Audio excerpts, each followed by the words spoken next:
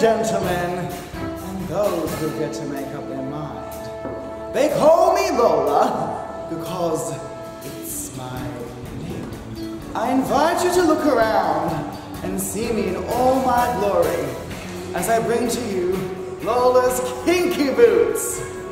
It's Price and Son Kinky Boots. Not according to the script change I made. And it's true, not only have I designed them, but I fashioned them on my girls, who wear them with style and grace. So I invite you to come and see the journey it took us to get here, and you might find something you'd